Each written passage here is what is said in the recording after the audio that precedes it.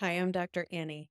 Today we are going to talk about what your mind possibly would have to do with your fertility. This is an important conversation because a lot of women will just concentrate on I have to fix my body, I have to eat right, I have to follow certain exercise plans, I have to X, Y, and Z about my body. A much overlooked aspect of fertility is your mind. It's at least 50% of the equation.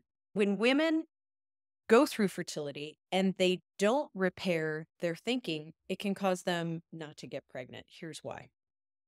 Your body is programmed to always prioritize survival over reproduction. So if you're in worry or fear or stress on a consistent basis, you're giving your body the message that you're not safe. And the body doesn't distinguish a meeting or a deadline or traffic jams and let's say a woolly mammoth or a saber-toothed tiger. It just knows danger. And then you have those chemical transactions that allow you to survive. But within those chemical transactions is something that shunts fertility because your body says, Ooh, if we just moved into a neighborhood of woolly mammoths, this is not the time to get pregnant. It would not be safe to bring a baby into a world right now so you don't get pregnant. Watch how often you're feeling stressed or worried or fearful.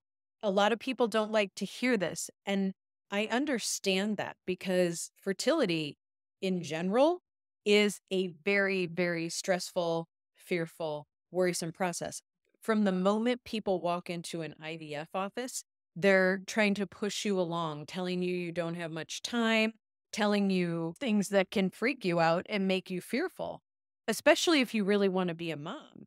And the fact that you are fearful and you are stressed, worried, means you're going to be a fantastic mom if you're not a fantastic mom already, which you might be, but you want another baby. The fear, the worry, the stress, all of those negative emotions don't serve you and they give your body that message that it is not safe right now to get pregnant. So if you want to know whether or not your mind is blocking your fertility, I have a quiz for you. It is in the notes and you can click on it and find out. Subscribe if you want more tips on fertility. I will keep them coming to you.